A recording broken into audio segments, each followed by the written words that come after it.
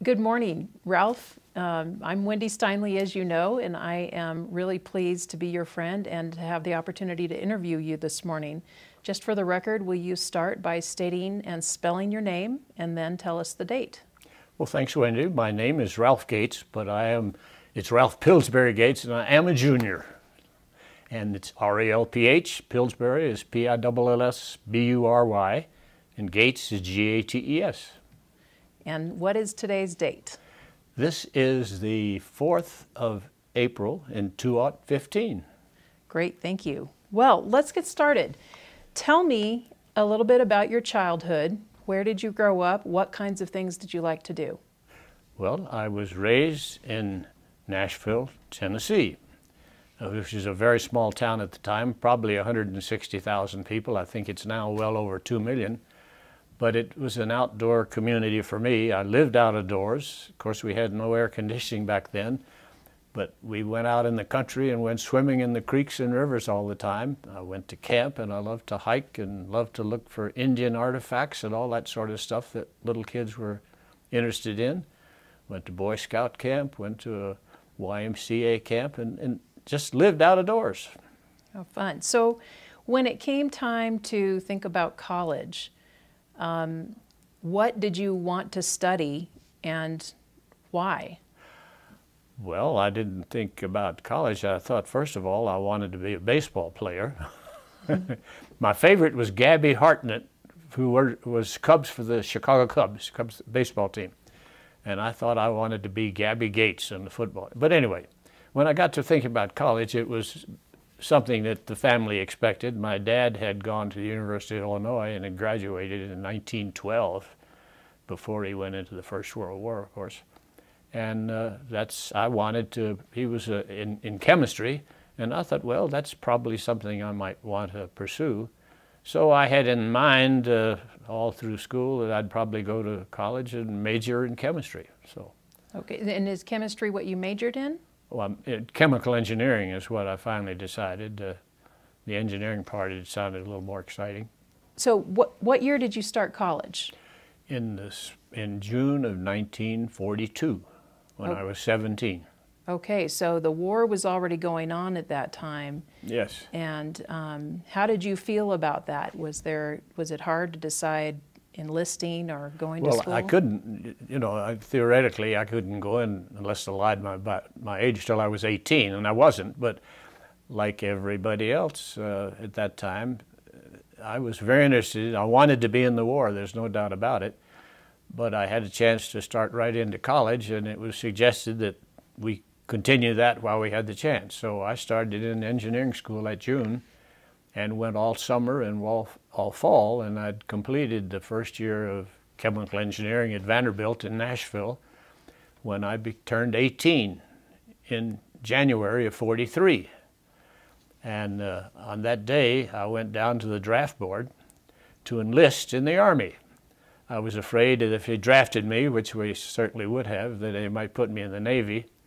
And I didn't think I could swim well enough if I got in trouble, but I knew I could dig a foxhole as well as anybody. So that was a legitimate thought in an 18-year-old's mind. Besides that, my dad had been in the trenches in France in the First World War, and he was in chemical warfare there.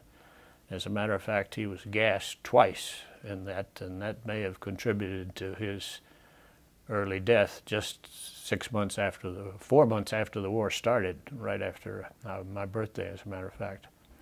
But uh, I, I, wanted to get in, and they said, well, what are you doing now? And I said, well, I, I just finished my first year of engineering school at Vanderbilt by going summer and winter.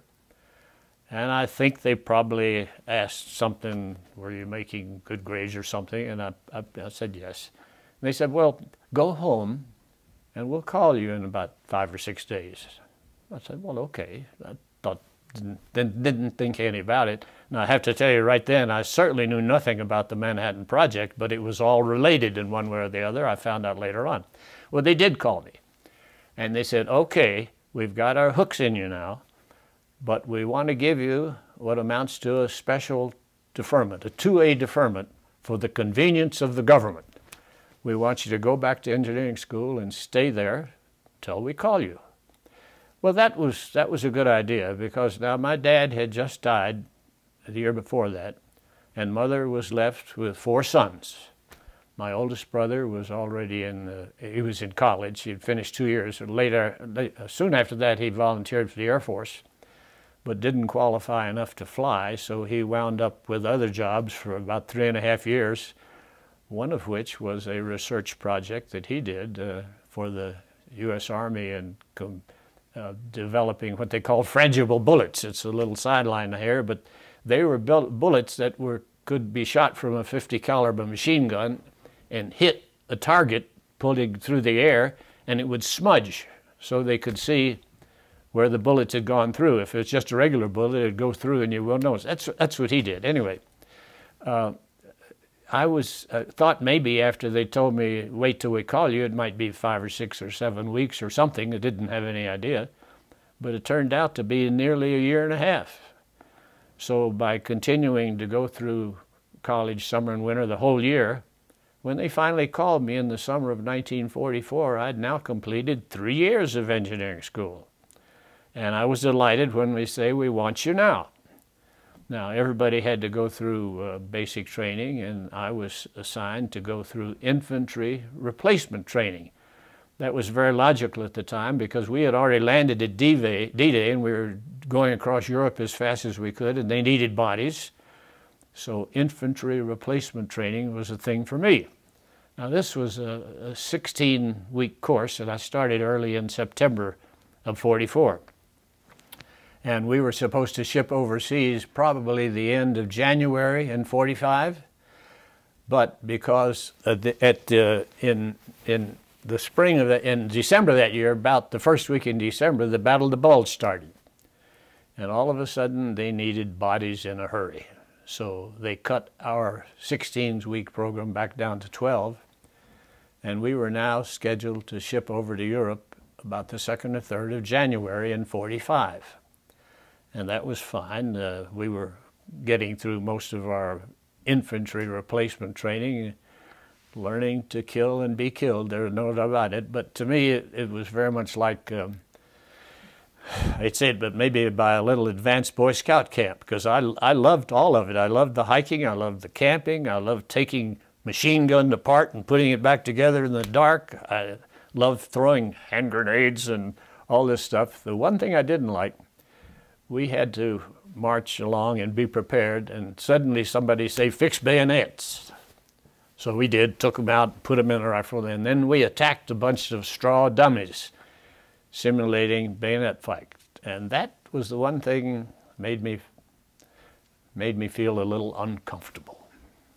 So I want you to back up for just a minute. You're you're in basic training now in your story, but I want you to think back a couple of years before, before the war, and Tell me about how you first became aware that things were changing. Well, I, I distinctly remember it. Uh, starting in about 1936, uh, my mother and dad and my the four four of us boys spent two weeks every year up in Wisconsin on an island at a camp. It was the paradise to get away from Nashville when it was so hot and humid to live up there. But it was late in the summer of 1940 one before we had started the war. It was our last trip up there before the war started. And coming back, Mother had arranged to have a surprise stay for us because my dad's birthday was during this two weeks, the end of August, uh, end of July and the first of August, to stay in the famous Stevens Hotel in Chicago. It overlooked Michigan Avenue, and there was not the big park out. There was only a park out. It looked all the way out the ocean. It was a beautiful place. And we had a room up high overlooking all that. And it was about one o'clock in the morning that my dad awakened my older brother and me, Daniel and I. And uh, he said, Come, I want you to come out to the window with me. Well, we got up sleepily and went out to the window, and he opened it, and what we heard was dum da da dum da dum dum dum dum da da dum. It was soldiers marching down Michigan Avenue. Now, this was in July before we went for Pearl Harbor. And I remember my dad saying, it's only going to be a short time before we are in the war. And that was the first inkling I had that uh, we might be. And of course, it was just uh, December 7th, Pearl Harbor Day, shortly after that, that we were started the war. And so then a few years later, you found yourself in basic training.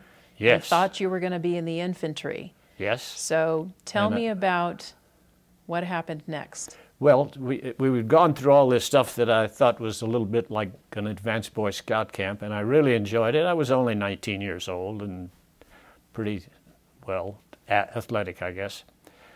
Uh, and we were on our final bivouac now, which was between Christmas and New Year's of 44, because we were going to ship out the next week. And we were out in northern Alabama at the tail end of the Appalachian Mountains. The, they call them mountains out there. Uh, They, they were high enough, so we had snow up there. And we were camped out for several days. And I had shared my uh, shelter half with three other kids, and we had made a little tent out of us, and we had pine boughs to sleep in and all that. But I remember distinctly we had two little candles, and we used those for warmth. And when that tent was closed up like that, and those candles lighted, we were warm as could be in there. And And- all we had was a blanket roll, but snowing outside. Well, How cold was it about? Oh, it was below, below freezing anyway. I, I don't think it was zero or anything like that, but it was probably in the 20s. Well, at about 4 o'clock in the morning on December 30th, the sergeant came over to my tent and he said, Gates, you in there? And I said, Yes, sir. We spoke very res- respectful of the sergeants. Get your stuff together. You got to go back in. Well, immediately I was frightened. What's, what's going on, Sarge? What, see, my grandfather now was the only male at home. He had what they call loco parentis. My dad had died, and I thought something was happening to him because he's not in good health. And the sergeant said, I don't know, just do as you're told. Get your stuff together, go over to the mess tent, get some coffee. You got to hike back in in the snow. Sarge, that's 18 miles. he said, I know we don't have any transportation for you. Do as you're told. So I went over there, wondering what was going on. Well, when I got over there, there were three other guys with the same suggestion get your stuff together, you've been called back in. Well, that made me think a little bit. Maybe there wasn't anything in particular that was uh, calling for a, an emergency furlough or something. So we hiked back in in the snow. And when we got back in, we were all in separate areas. I my company was separate from theirs. There were about 15,000 soldiers in training down there. So I went into my uh, barracks room there and, uh, I- and laid in, in the 30th and ra- read and wrote letters and got a good night's sleep. And the next day was New Year's Eve. And I was continuing to write letters. I got bored. And I finally went over to the sarge and I said, Hey, do you think you can get the lieutenant to give me a pass to go into Anniston, Alabama to the USO tonight for New Year's Eve? I did. I went in and I had a great time. Probably too great a time, but I finally got to bed about six o'clock in the morning on New Year's Day, and fell asleep. But at about two o'clock that afternoon, all my buddies came back, and the snow had melted, and they were a muddy mess. And I was sitting on the edge of my cot with a brand new uniform. Gates, what's going on? Where are you going? What's happening? I didn't know. I had no idea. I'm waiting for orders. But then is when I get this feeling I had frequently of the hair rising on the back of my neck because I, I knew something. These were band of brothers. You've heard about that. We had spent 12 weeks now learning to kill and be killed, and you get very close to guys like that. And I knew they were going overseas, and I probably was not, but I didn't know for sure. And I got worried about a couple of good friends. One of mine in particular had played basketball at the same high school where I played basketball, but I think I was 14th on the squad of 15, so I didn't play very much. But he made all state. He was six foot uh, six foot six, and his name was Bill Boyd. And he was the guidon when we marched as a platoon, carrying the colors for us, and it was very impressive. Well, I found out later on that he was killed in Belgium, I think it was, about 20 minutes after he got into action. And that was the first one of my buddies that I found out was killed. Most of the rest of them survived, went in different places. I kept in touch with a lot of them for years. But that was something that made the hair stand on the back of my neck. Yeah. Well, anyway, about five o'clock that afternoon, I finally got the orders to get on a train in in Anniston, Alabama, and there were about six or seven other guys with me, and I was given a bunch of orders to carry with me. And yet, when we landed in Penn Station in New York, which is where we went, I was met by an officer in a van, and he checked the orders out. Get in. Okay, we did. And we went up to the New York University School of Engineering up in the Bronx. It's now the Bronx Community College then, but it's up on a, uh, up on a bluff overlooking the East River, and you could see polo grounds from there and other stuff. Anyway, it's where the, the Hall of Fame is. The Hall of Fame is an outdoor colonnade with a bunch of busts of favorite pictures, uh, people there. And we were uh, told to uh, move into Gould Hall, and we had a two-man, a two-room suite there. And I went in and I saw there were three double bunks, and there were six desks. And then I began to meet the other five people who were there. My double bunk mate was Harvey Willard, whom just recently died, but he became a very close friend. He was an undergraduate student in physics at MIT. The next person I met was Dick Reed. I think he was an undergraduate student at Harvard in chemistry. The next person I met was Ken Orban, who was out at Los Alamos with me eventually. He was an undergraduate mechanical engineer from Penn State. Then there was Lothrop Jordan, Lo Jordan, and then there, I don't know what school he was in, and then there was Al uh, Smith and Ray Garamoni. These were my roommates. And we all were studying something technical, but none of us were studying electrical engineering. But that's what we were assigned to do, take up courses in electrical engineering. And it was fun, we enjoyed it. It wasn't that hard, but it was different, and we had a good time had no idea what this was about, but that was all part of the plan eventually, which got some of us into the Manhattan Project. I'll get into that later.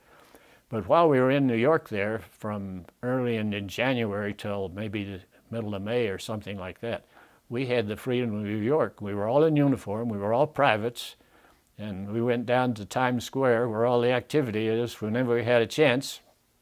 And I remember particularly on VE Day, the minute we heard that Germany had surrendered, we cut classes immediately, got on the subway, and we got on the subway at uh, 181st and Jerome Avenue exit and beat it down to Times Square to hurry, where there were a million people in there. And I remember several things. During our stay there in that evening, a whole contingent of free French sailors went marching down the middle of Times Square singing the Marseillaise and the little guy climbed up on a war bond side and he couldn't get down so mounted policemen on horseback had to come through and take him off of there and it was a wonderful time and it was a little after dark that my friend dick reed and i decided that we wanted to go over to staten island and back to see what it looked like that night when the statue of liberty was lighted for the first time since the war started and believe me, the hair is right up on the back of my neck now. Ralph, you were just talking about VE Day, and that is such an important point in history. I want you to go back to the moment you heard about the victory in Europe. What were you doing and what did you think? We were in classes at New York University studying electrical engineering. And we're very intent. And when all of a sudden somebody came in and said Germany had surrendered, one of the first things we thought, I'll have to tell you, that we wondered, we're probably not going to get in the war. Uh, that, that was a mixed feeling. Of course, you, just going in the war makes you a little fearful, but we wanted to be in it. And here we were studying in school, and it looks like the war was ending. Well, it was in Europe, and we were going to miss out on all this, all this. But that just was a feeling that we had. But we immediately went down to join all the festivities in Times Square, and I, I, mentioned that to you. I think that uh, uh, one thing I remember so well was the, Mar the Marseillaise singing by the French sailors marching down the middle of Times Square, and uh, the fact that we went out to uh, uh, see the Statue of Liberty lighted that night for the first time. But other things we did, we were kids, but Harvey Willard got on one side of Dick Reed, who was incidentally a tall, stately Irish kid, handsome as could be, and I got on the other side, and he put on dark glasses and then hooked his arms in ours, and we walked down with him as if he were blind. What a hunky thing to do, but we did it. Did the and, girls flock? well, when we got to the curbs, we carefully stepped down, make sure that he stepped up. So we thought, many people probably thought, isn't that wonderful? The guy has been harmed in the war and he's back here and his buddies are helping him get around. isn't that nice of them and all that? And we had a big time with that. We, we didn't feel guilty about it at all because it was something that kids do. So. So how did your day end, VE Day? How did it end for you? Oh, after we had uh, gone out, it was dark, and we went out to um, Staten Island and back on the ferry to see the Statue of Liberty lighted for the first time since the war started. That's where the hair goes up in the neck. We had to go back to the barracks up to Gould Hall at NYU by midnight. We had to be in bed in midnight and the lights were turned out. So when we went to sleep, my friend Harvey Willard had made, had a little radio that he'd made, being from MIT and stuff. Anyway, he turned that on and we listened to the last war stories, the last stories of news stories. And when they finished all that and they signed off, the last thing they did was to ring the correct Liberty Bell, Liberty Bell from Independence Hall in Philadelphia. And that was a very emotional time, but we didn't say a word and we went to sleep after that. Ralph, you mentioned that you wrote a letter home to your mom describing your experience on VE Day. Can you share a little bit of that? I believe this has been the best couple of days in several years. There has been quite a bit of unusual talk over the radio connected with VE Day celebrations. I've heard some rather bitter remarks from particularly gloomy people, civilians or otherwise, who rave and fume at any sort of joyous exposition at this time. Then, on the other hand, there does exist the few who have gone a little too far in considering the war completely over. Only last fall it seemed that nearly everybody thought it was all done but the shooting, or the shouting. Remember that confused character Drew Pearson? That nearly everybody, including only civilians, they thought the war was about over. These very gloomy persons are generally fighting mad with words over the celebration in England, where it does seem to be felt that the war is over. I don't blame the English people mean this literally. Over there, a man in the street program from London explained the situation in general feeling very satisfactorily. When asked the simple question, How do you feel today that the war in Germany is over? He replied, To me, the war is over. There is work to be done, but it'll be work without bombs for us. The bombs were war to him just as much as the relative fighting was.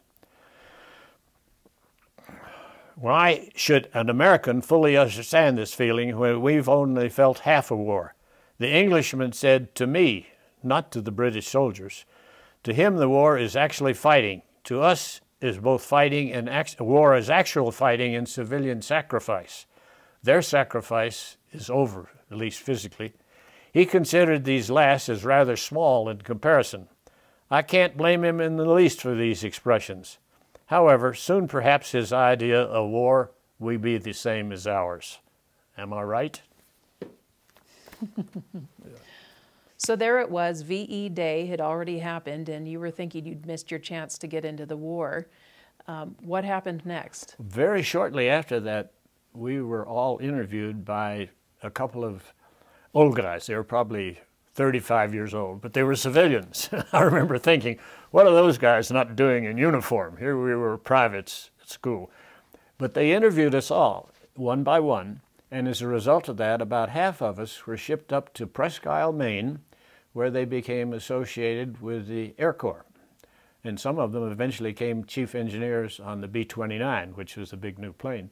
The rest of us, including me, were put on a train and we wound up in Knoxville, Tennessee for some reason met by an officer in a van, and he took us out of Knoxville across the countryside. It was open country until all of a sudden we came to a sign that said Oak Ridge, Tennessee. And looking beyond that, I saw that it was wonderful activity going there. Now, I, my home was in Nashville. It was about 200 miles away. I'd never heard of Oak Ridge, Tennessee. It was nothing but a crossroads back when I was growing up. But here it was a big, bustling operation for unknown reasons to me. And I was only there one night. But that night, I crossed the little bridge to go over to the mess hall to have some Army chow. And a guy came across the other way whom I knew. It was Hugh Richardson, who had graduated in chemical engineering the year before me in Vanderbilt. And I said, My gosh, Hugh, what in the world are you doing in this awful place? I remember the words I said. And then I remember his words. He said, I'm dogged if I know. He was in uniform. I know what I do, but I don't know what I'm doing. Now, that was the first time I became acquainted with General Groves' compartmentalization of everything that went on. He didn't know what he was doing at Oak Ridge. But that night, I was only there one night, I had a great time after dinner. All the girls of, Anna, of Oak Ridge, whom you've probably read about in some of the recent stories, were having a dance out on the tennis courts. And I had a chance to dance with a few of them. I don't remember any of them, but it was a great night. But not unfortunately, but nevertheless, the next day, next morning, I was put on a train with about 20 other guys, and we were sealed up in a Pullman car in Knoxville. And the train, I mean sealed up, we were not off it, we were not out of it or communicated with anybody for about five days. But the train left Knoxville and it went up to, I think it was Louisville, Kentucky, and we were switched off our Pullman car to another train that took us over to St. Louis, where we were again switched off and connected to probably what was the original Santa Fe Chief. And it was heading west. Now, wonderful, we thought. We're finally going to get into the war before it's over. We were going to the west to help the invasion of Japan, I guess is what it was, we thought it was going to be. And we, all our meals were brought into us. We were not allowed to have any communication until we si finally stopped in this desert spot out in New Mexico, Laramie, uh, uh, Lamy Junction. The Santa Fe Railroad did not, and I don't think it does now, go through Santa Fe, but Lamy was a station stop nearby. And I think they detached our Pullman car and left us there, and the Santa Fe chief went on. Well, I found out later on, that in that stay of five days, there was one guy in our group who was a corporal. We were all privates. He got off the train at certain stops along the way and made a telephone call. Now, the famous one was Corporal Hull, who did this. He was not on our trip, but he was, had done it also. And he would ring this number and say, This is Corporal Hull reported, My shipment is intact and no one has approached us. And he said, Therefore, get back on the train, which we did. This is the way that they knew no suspicion had been around. So, what these guys were, how they would know that we were technically trained or not, I don't know. But nevertheless, that was they, they uh, ruled out the, uh, the thought of any spying or something on that. Well, when we uh, when the car le- the Pullman car left us there, we waited about 45 minutes till we saw a bus coming across the desert. Guy came in and picked us up and checked our orders. And what's going on? Where are we going? And this is the first time I heard that. Shh, you'll find out. And I heard it in the next hour and a half about a dozen times because we wondered what was happening to us. Well, the first thing that happened is I saw a sign that said Santa Fe, New Mexico. Now, I'd heard of Santa Fe, I'd never been there, but maybe there's a military base around here somewhere. But we drove right on through it, and if you're familiar with that, the Rio Grande River goes up through, through uh, New Mexico, and we followed the Rio Grande River a ways up till we came to Espanola, which was the only place that there was a, a bridge that was large enough to carry a busload of us at high flood stage. We crossed the river and then went back down the other side till we came to a road, a gravel road, and we turned off and went up into the mountains. And very shortly came to a wire fence where we were checked out by guards. So, what happened after you went through the guard gate? Well, that was just a wire fence with a gate and two guards. And they checked us out and ushered us through. So we got through that, and then we went a little further and went over a rise, and then we came to a very prominent gate with a big sign up at the top that said the Los Alamos Ranch for Boys. And when I got inside that, being checked in, I didn't get out till the war was over. And that was the first time I'd ever heard of the Los Alamos Ranch. And it was the next day that I was ushered in at 8 o'clock to the tech area and was given a complete story on what we were there for. Now, th that Los Alamos Ranch is interesting because Oppenheimer had been raised in Manhattan, and he had asthma or something early on. It wasn't that, but something that his parents sent him out to Los Alamos Ranch for Boys in the mountains of New Mexico for at least one summer.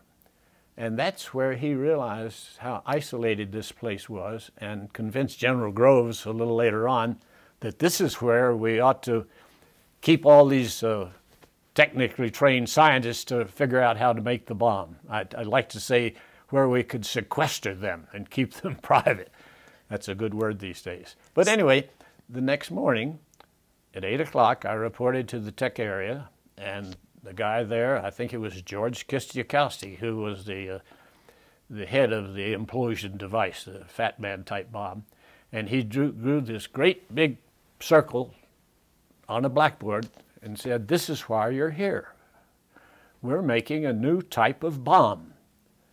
Now, I, I, want you to remember now that we were young kids and had been hearing about two ton blockbusters being carried by B 17s to bomb Germany, and maybe they could carry two, at the most three of these two ton bombs at a time.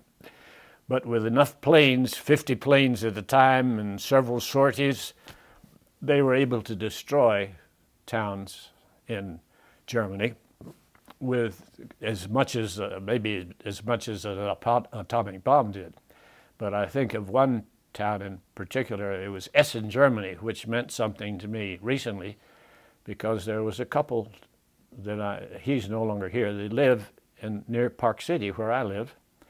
He was a German and had been a teenager and was conscripted by the German army, army and he studied uh, anti-aircraft, and he was uh, sent to the Eastern Front where the Russians were coming in, and they had the anti-aircraft guns they were trying to fire up and knock American planes down, and they finally realized they couldn't reach the height that we were flying, pretty much 40,000 feet at the time.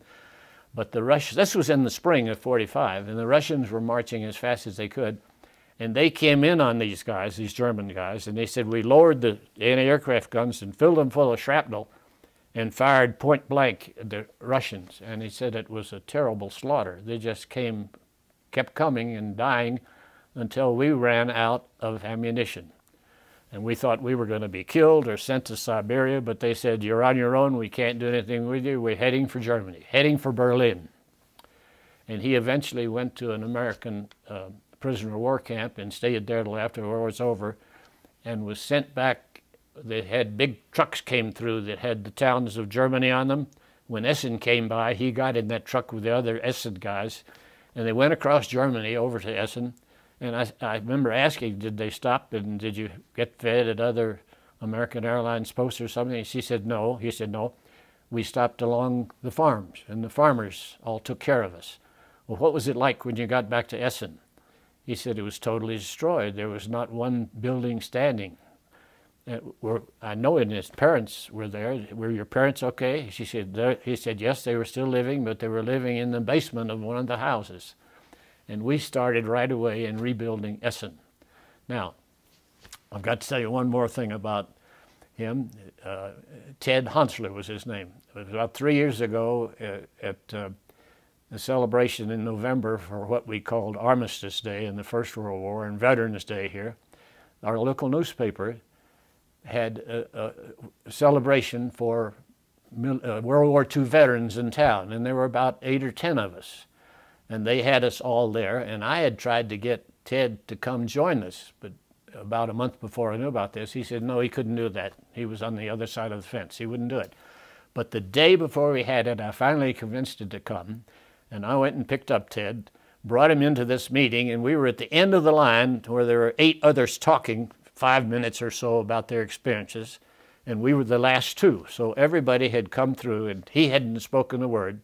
When it came his turn to talk, I interrupted and said, I want to introduce you to, to my new friend, Ted Honsler. They had no idea where he was from.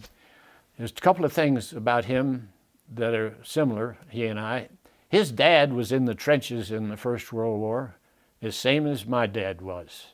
And we're probably the youngest two people here, which was true. But they're things separate.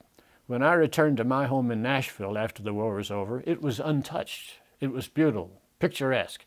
When Ted returned to his home, there was not a stone left standing. And I remember some of them saying, well, was there an earthquake or something like that? And then I said, I want to introduce you to my friend Ted Honsler, who was a German war veteran who lives there now. And they were all astounded. Ted had tears down his eyes when I said he doesn't think he was on the right side of the fence, but he, fence, but he does want to call. Well, uh, of these eight people there, four of them were with the 8th Air Force, and they had bombed Essen to smithereens. This was a very moving time for, for Ted. He had tears running down his face when he felt accepted by this. Um, anyway, that was an interesting story.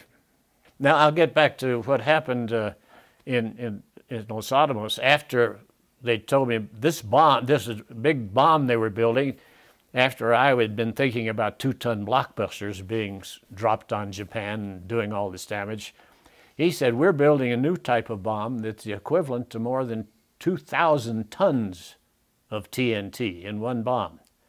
Well, thinking of that in two-ton blockbusters, I think in days vernacular, I probably would have said, yeah, right. But I was a 19-year-old, smart aleck, I guess. But I was assigned then to go out to S Site, which is no longer there. It was destroyed in a fire about 2000, about, uh, yeah, 2000 uh, just 10 or 15 years ago. But I was assigned to that to work on casting the high explosive shape charges that surrounded plutonium in the core of the Fat Man bomb, the one that was dropped on Nagasaki.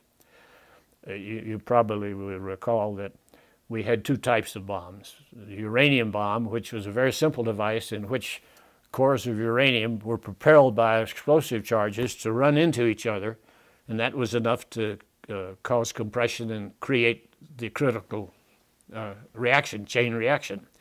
But you couldn't do that with plutonium. Plutonium is something that doesn't occur naturally, but we'd learned how to make it, and we had, a, a, by taking the part of uranium that was not fissionable, there's 235, which is fissionable, and 238, which is not, there's like 150 parts of 150 uh, parts of the, the 238, which is not useful, to one part of the 235. And you can see why the separation of that to get enough took a lot of centrifuges that we hear about. That was in Oak Iran. Ridge's work. Well, we, we had other devices to do it, but it was a big job separating enough 235 to get enough for a bomb. Matter of fact, when the war, when we bombed, that was the only uranium-235 bomb had. The others were made with plutonium, which we took the 238 part that's not fissionable, and we ran it through a process up at Hanford, Washington, where they bombarded it with neutrons and converted the 235 to 239, which decomposed a little bit into plutonium. And now we had a, uh, reasonably uh, uh, total amount of, of plutonium to do whatever we wanted to. And, and we, but the new bomb, uh, plutonium, if you tried to use it in the, in the, uh, the explosive part where you propelled uranium, it could not withstand the propelling charge and it would predetonate it, uh, predetonate before it got together. So they had to develop a whole new system and that led to the big round fat man in which in the center was a plutonium with some other stuff to make it go. And then they surrounded all that with high explosive charges, shape charges, which when they were uh, uh, set off on, I think, 32 different points around the big sphere, the shock wave would come in equally from all of those and it would compress the, the plutonium in the middle and cause it to go critical, and it did work. But the tricky part of this was what I was helping do. We were casting what they called high explosive lenses, which were necessary to convert the shock wave from the detonation point on the top of the bomb, so which was concave like this, or like when you put a pebble of water uh, in the water, it's concave. You had to turn this out to where it was this, so it could compress the plutonium in the middle. That was the unique thing called implosion. Ralph, you were just talking about your job. Your primary job was to cast shape charges. Can you just explain how you did that? Yes. Uh, first of all, we had a, a sugar kettle like this, uh, what sugar products are melted in. Except we put TNT in there and melted it. now, fortunately, it, it melted less than the boiling point of water, so uh, we could use hot water to control the temperature in there. But we were also advised that you don't want this to get overheated. I think someone said it had a it would detonate itself if it got up to around 220 degrees Fahrenheit or something. Well, we never had any of that trouble. But just in case we had trouble, S site was on a, a mesa a little ways out from where the tech area was, and they built great big berms, I guess you call them, around us. So if the, we had an explosion, all the explosion would go up and not do any collateral damage elsewhere. Uh, that uh, was part of the reason for this. And uh, I, I, remember the first night I was in there, the, the guys who had been there preceding this uh, had uh, developed a protocol for doing this thing without much difficulty. And I was the young college kid. I was given a job that they didn't particularly like. After the shift, we had to take high pressure steam and go around and steam the floor to melt any little bits of TNT that might have gotten around and down into a sluiceway where it was collected.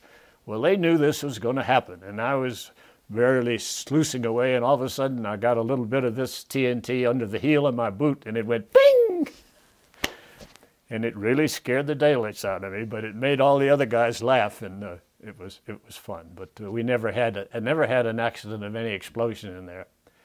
But these castings we made were of two kinds. One were just solid TNT, which immediately surrounded the plutonium in the middle when the shape charge had been converted from this to this. And that was done by what we call lenses.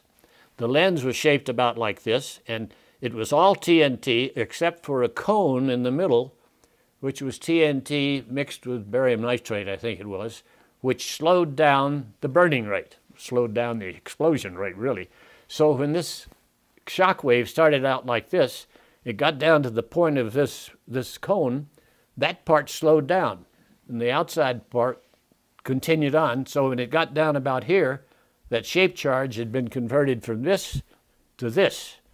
And then below this was all pure TNT once the shape charge was right, and it went in and compressed the plutonium and the other things that were in the center to make it go critical. Now, I, would just like to say one thing about this plutonium in the middle. When I've given my talk, I, I, I like to start it out trying to impress people a little bit. I have a grapefruit in my hand. And I say, this is a story of show and tell. I'm going to tell you the story, but this is a show. This thing that you probably think is a grapefruit is really a hunk of plutonium in drag. And this is a little bit less than 14 pounds of plutonium. That's all, a little less. This was in the heart of the Nagasaki Fat Man type bomb. That's all that was in there, a mixed with other stuff, but that's all there was of plutonium. A little less than 14 pounds. And that uh, sounds pretty small to destroy the town of Nagasaki, which it did. But when the uh, uh critical mass was reached and this thing started to explode, it cut off the chain reaction immediately, such that they figure only 1.7 pounds of plutonium was actually converted back into pure energy according to Einstein's equation of m um, e equals mc squared. So 1.7 pounds, which a solid material which was converted to pure energy, was enough to destroy Nagasaki and because of the other part of it that was not converted pure energy, the other radiation killed thousands more from radiation after the bomb. But uh, most people find it quite interesting. That something like that was all there was to destroy something. So you had mentioned that your friend who was at Oak Ridge didn't know what the purpose of his work was day to day, but it sounds like you were given a lot of information about what your day to day work was for. Can you clarify? Did you know everything, or were, was there compartmentalization at Los Alamos, and and you know some people didn't know what was going on, or what what was your level of knowledge? Well, essentially, there was no compartmentalization at Los Alamos. That's why they wanted us young kids who were nothing but laboratory assistants to the famous scientist to know all about everything. That's why we were electrical. We studied electrical engineering, but we were chemical engineers, mechanical engineers. We had to know the story about electrical engineering was so important, and it was extremely important because this this uh, detonation thing, 32 points around this sphere, had to go off exactly the same time. So that's why we were studying, but we were all acquainted what the whole overall program was once we got inside the gate of Los, Los Alamos. Uh, Oppenheimer would not let Groves do what he first wanted to do, compartmentalize everything. He said, you can't compartmentalize these scientists and expect that they're going to work together and create this thing and make it work. But out at, at Oak Ridge, or even I think at, at, at Hanford as well, they were very compartmentalized. But we were not. And, and, and I knew what was going on as everybody else did. Did you ever meet Groves or Oppenheimer? I never met Groves directly.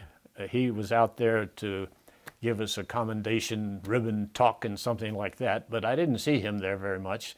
But Oppenheimer was there all the time. He was the general manager. And I knew him. I didn't, I think I knew him as Dr. Oppenheimer, but I had no idea of what he had done. I found out later on. I think he was the one that came up with the, uh, the uh, concept of the black hole, that wonderful thing in, in physics. But he was a good manager. And I did meet him because one day we were having lunch out at S Site in our little GI cafeteria out there, and in came Dr. or Mr. Oppenheimer to have lunch with the boys. He was doing a thing a good manager did. He wanted to know how we were doing and congratulate us on what we're doing. That's where I had lunch with Oppenheimer. did you ever come across any people at Los Alamos who were later known to be spies? I didn't, and I, I th certainly thought that the way compartmentalization had been, that it was doubtful to me that we had any spies there. But I, and when I was, uh, when we were being discharged, there, there was a discharge uh, counseling. They gave us things we should never say, and the word implosion, I remember, was one. You never let that word cross your lips. The implosion concept was totally secret. However, two years later, when I was rooming with my friend Hugh Richardson, whom I had met at Oak Ridge, and he told me what he had been working on, he found out later on too, and I opened up a copy of Life magazine. This may have been 1947 or 1948, and there was a total spread description of this plutonium type bomb, describing it and picturing it how it worked and everything, all the stuff that I'd been told never to let cross my lips, and I never had. Anybody asked me what I did, oh, I was just a GI doing what I was told. That's, that's how I described it, which was true, but nevertheless, I did know. But uh, I found out then that Klaus Fuchs, and maybe Greenglass and Rosenberg, some of the others, but particularly Klaus Fuchs, had given all the information of this implosion type bomb to Russia before we exploded the first one. So before I even knew about it, he knew about it. But he, his story is interesting. Uh, he was a German, but he was a communist. And that was as bad to Hitler as Jews were.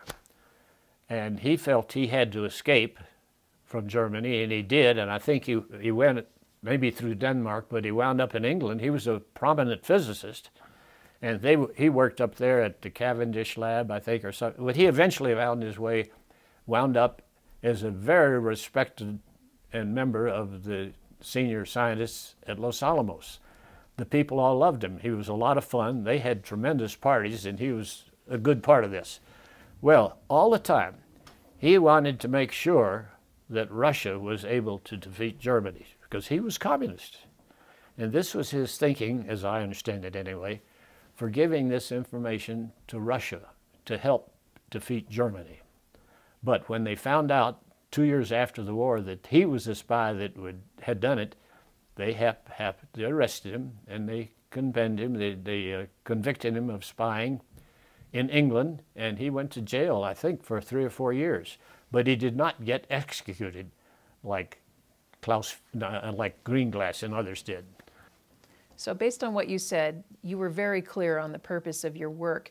Can you talk a little bit about what a typical day in the life was like there? How much did you work? What all did you do? Was there anything social going on? Are there, you know, any other stories you remember? Well, before the war ended, every morning I got up at the barracks, which was at the main location of Los Alamos, and, and got on the Jeep with explosives on it and rode out to where S site was, checked in, and we started our work casting these things. I think for a while there early, we may have run two shifts doing this, uh, but I, maybe it was only one. But anyway, I was a junior member, and I told you about the job I had of sweeping up this stuff, but also Mr. Popham, who was the, uh, the civ civilian office manager there, gave me a little job with a three by five metal card case in which there were cards. And every time we had an, an made enough of these castings to complete another bomb, I had another card entry in my little card case. So I knew exactly how many bombs we were capable of putting together. And of course, when the war ended, we stopped immediately making them. Because whoever thought we would ever need to make another bomb that in itself could destroy a whole city? It made no sense. There would never be that again. But so I knew how many we had made. Well, I gave this talk to the high school. One of the young ladies there, will you stop making them? How many did you have? Well, I thought of what she'd been thinking about. Everybody this time has 2,000 bombs or 500 or something. And I said, well, how many do you think? 500? And I said, no, we had made a grand total of seven bombs. That's all. The first one was uranium. We've never made any more of those. The next six were all this plutonium bomb with which I worked. We dropped one on uh, the test. No, we didn't drop it. We exploded it down in New Mexico to make sure that this type of technique, which was very critical, would work, and it did. So the next bomb was dropped on Nagasaki, and Japan surrendered. That left four. Well, then she said, "What happened to those?" When I said I know about two of them because they were taken several months later down to the South Pacific to test their effects on Navy vessels. One was exploded above the vessels, the other was exploded un underwater below the vessels and then say, by the way, any of you girls have bikinis? Well, that got a lot of titters, and this old goat asked you, I was think I was 86 or 7 at the time, asking if, I said, well, I don't know what you did, but I know your mothers did anyway. And I tell you what happened. Those bombs were exploded down a little group of islands called the Bikini Atolls down in the South Pacific. And it was not too long after that that a very sharp Frenchman designed the itsy bitsy, teensy weensy yellow polka dot bikini. And he called it that because it was so explosive. That, that's a true story, by the way. So, Did you ever have any doubt about whether you would be successful?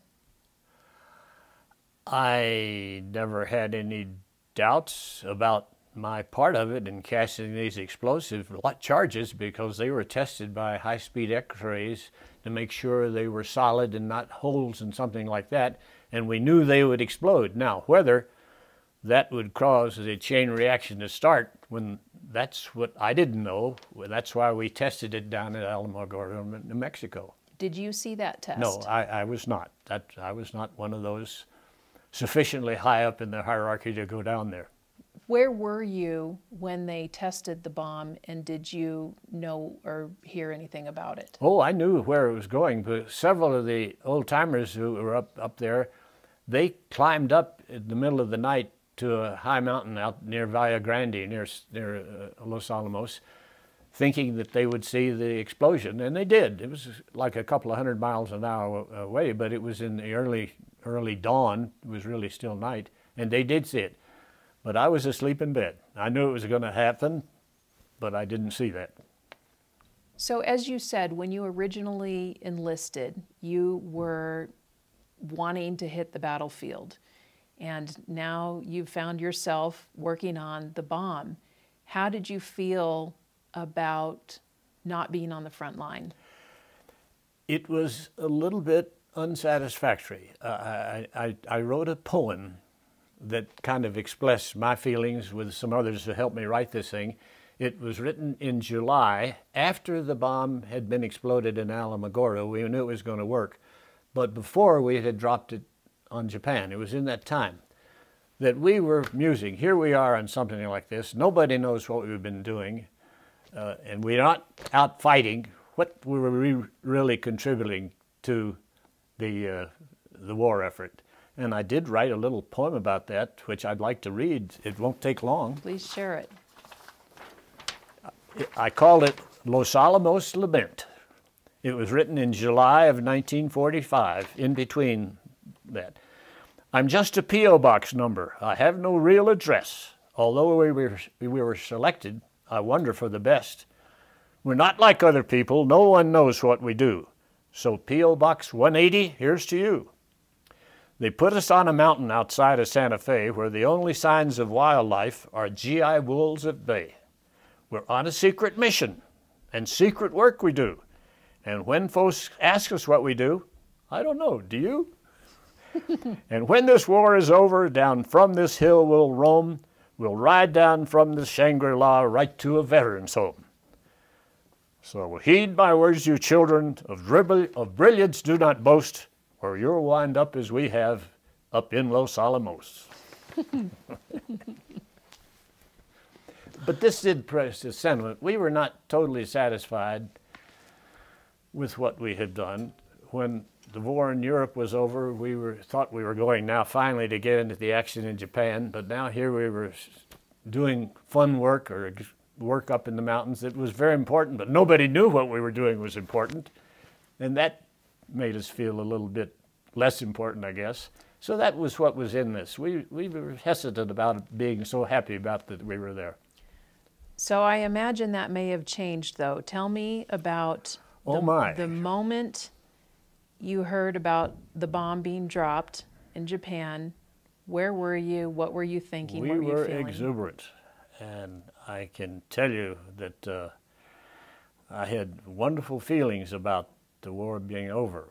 People have asked me, did I think this was the right thing to do when they think about, you know, 50 years later about all the people who were killed in the bomb and all that, the terrible stories.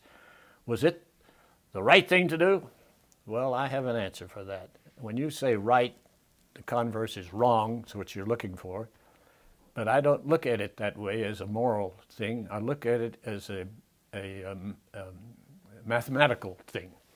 Was it correct or incorrect? And that really stops them. It may have been morally wrong to do. After all, killing somebody for any reason, according to the Bible, is wrong.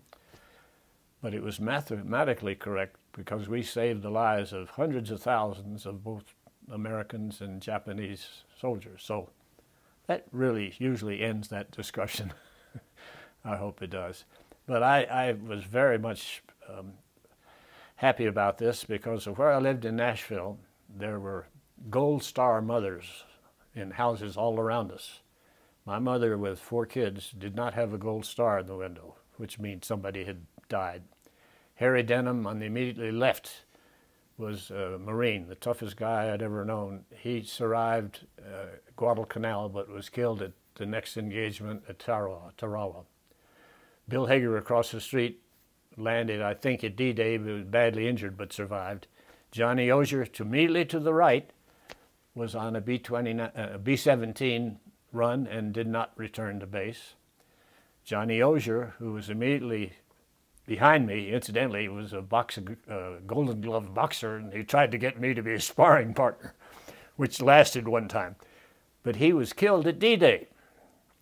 And across the street, three houses down, was Johnny uh, was uh, John Manchester, who was about my age, who turned out as a Navy aviator off a, a carrier, just like George Bush Sr. was. And he didn't return to his plane and uh, to the carrier he was lost at sea. And it was probably during the engagement at Midway, which was really the turning point in the battle in the Pacific, if you know about that story. But these five Gold Star mothers were all around us, and we didn't have one in our window. And that uh, causes a degree of, of emotions. I want you to think back to the moment that you heard that the bomb worked successfully over Hiroshima. Mm-hmm. Where were you and what were you thinking? I'd already gone out to S site to continue our work that day, and but we listened to the radio every morning at eight o'clock when the shift started, and we heard that news that Harry Truman announced a bomb had a new bomb had been dropped on Hiroshima, and that started the whole thing. We just exploded with cheering, but we still were at work. We continued casting the implosion type bombs then, and we kept that doing until Japan surrendered after the bomb was dropped on Hiroshima about two or three days later when Jan, Japan surrendered. That's when we stopped work. And that's when, but I was, I, when the first word came about Hiroshima, we were starting to work that day on the shift in the morning. So, when you heard about Japan's ultimate surrender and you knew the war was really over, tell me about that moment. Well, that, that's when all these thoughts went on about my friends and neighbors who had been killed. The war was over, and we would never have war again. I, I, I wrote a letter home. I'd like to read a little bit of part about it. That's when I was able to tell my mother what was going on. If just a second, let me do this. Here that one is. This was August 7, P.O. Box 180, Santa Fe, New Mexico. What Dear year? Mom, well, at least you know approximately what goes on up here. I guess by now the cat is completely out of the bag. You know of the little yo-yo we're making. It's quite a destructive thing, as Japan should know. Ever since that day in July 16, when the first bombs exploded in the desert of southern New Mexico, everyone here on the hill has known what was coming. You can understand now why such a device was guarded so closely, why not one of us dared, dared mention it off the area, and where all of our mail was surrendered. It must certainly be true that there can never be another war. However, I think one side of this subject has been forgotten or at least slighted. It's not just because destruction would be universal, but more positive because construction can be worldwide an accumulation of unlimited power for the good should erase economic reasons for wars. It is not likely that wars could begin for any other reason. And then the next day, Germ- uh, Russia announced they were joining the war. The second bomb had dropped been right next. This new bomb may sound inhuman, but the relatively few people who have been fortunate enough to have worked on the project and have known in advance what was up would be sorely disillusioned if the American people or any part of them should be able to face the fact that this thing will mean peace forever, even with the cost of thousands of Japanese lives. Let us pray it will never be necessary to use any more, even on our enemy. However, it, if Japan should doubt our intentions and refuse to give unconditional surrender, Japan may well be completely obliterated and that was before they did surrender. Fortunately, they did. So, what a relief!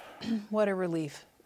It's interesting that at that stage in your life and that stage of imminent victory, you felt like there would be no need for wars, that right, you had absolutely. demonstrated might such that no one would need to do that again. It fast, was inconceivable that anybody would do that. Fast forward to Ralph Gates today. What would you say, what message do you have for the younger generation today of maybe what they should be prepared for or what they should make their priority? I would not be critical of them, but I would say that I was very naive. We thought that we had done something that would bring peace to the world because such potential destruction was inconceivable. Now, after the war, when Russia had this, they built atomic bombs, and we had the Cold War. But as you look back on the Cold War, in my opinion, there was never a chance that Russia would drop a bomb on us because we would drop a bomb on them. These guys were atheists. They didn't have religion telling them that if they dropped the bomb on us, who were infidels, and they might get bombed in retaliation, that's the way we would go to heaven quickly. You know what I'm referring about. There are evil people in the world who do things for whatever reason, and there's nothing worse than having religion be guiding what people do solely. And uh, it leads me to tell people today that they should be aware that there are people who could bring about destruction such as this, however inconceivable it may be to us, and how horrible it would be if people were killed because of their religion, because they wouldn't convert to some other religion. And that clearly can happen when we have the statement being made just in the last four or five days by the head of the Re- Revolutionary Guard in Iran, who worked for the supreme dictator there, Khomeini, when he said, during these negotiations that are going now, there is one thing that's utterly not negotiable. That's what he's saying. And that's the elimination of Israel from the face of the earth. Now, how we can negotiate with something like that facing us is difficult. And I, and I think young people should realize that until something like that is changed, and in my opinion, it would take a reformation is the, in the Islam faith to separate church and state so that the people whom I think would feel much like we don't want this. But if they're told by they have to do that, we've got to separate the church from the state. This happened to Christianity with our Reformation. There used to be the Holy Roman Empire with their own army, which did lots of things during the, the uh, in the earlier years when we marched against Islam. These were promoted by religion. But we've had a, in our Western culture, have had a separation of church and state where the people, not the church, dictates what the ultimate goals are. And until that reformation happens in Islam, we're not going to have peace, as far as I'm concerned. And I think it's well for young people today, at least, at least to, ris- to listen to somebody who's an old fogey, who has seen a lot and has been concerned about a lot and is, was naive when I was 19 years old to realize that there is evil in the world and that has to be stopped in some way. I have one thing that uh, is important to me. I have uh, quite a few pictures of the other kids, the young men who are involved with me in SED and I have one in particular that shows us we, we didn't have enough points to get out after the war because we'd not been in combat, we'd not been overseas, and there was a selection based on the number of points. So we didn't get discharged for 10 months after the war was over. But a bunch of us, when we finally made it, we took a train down to San Antonio and were discharged at Fort Sam Houston. I remember that day in July, it was 108 degrees. We'd been issued brand new uniforms to go home with. They still had the sizing in them, they'd never been washed, and we sweltered. But that night, we made a trip to the board, uh, the Riverwalk in San Antonio. If you remember this, it's a famous spot along the river where it's cool at night and so forth. I think this was just after it had been built. And we congregated down there, and I've got a picture of about seven or eight of us sitting around like this, drinking beer and relishing the fact we're out of the Army, and the next day we headed for home. that just must have been an amazing feeling to be oh, young at that time. Incidentally, on the way home, I stopped for one night on Bourbon Street in New Orleans on the way back to Nashville. but I did get back home eventually. That's good to know. But we were 20, 21 years old, something like that. And we had played an important part, I think, in helping the scientists after they'd figure out how to do this to put the things together and do it right. Some of the uh, names, these were names that I, of the group you saw here, but also people at the barracks that we had our own basketball team and we did all sorts of things together. We went fishing. I'll just read some of them. Well, Dellenbaugh is one. He, the basketball team that I played on, we were called Dell's Bells, and Dellenbaugh was the head guy, and uh, we, we weren't the best, but we were pretty good. Then there was Don Harris and Walter Peck, Shorty Marsh, a fellow named Trapp, Johnny Tempka played basketball with me, Frank Hauser, Mel Salisbury, Willard Bloom, who was out at S site, and Joe Balash, who is in this picture of us during discharge, Robert Curran, who's in that picture, uh, Bob Mallory, Jake Newman, Jim Olshoe, William Waterbury, and Carl Ziegler. These are all names of my buddies and my band of brothers at Los Alamos, anyway. Ralph, you've got an interesting pin on your lapel there. What is that?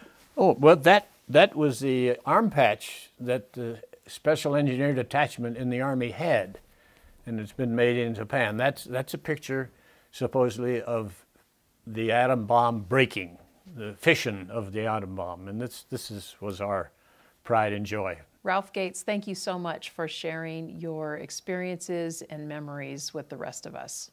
Thank you very much for having me. It was an exciting time.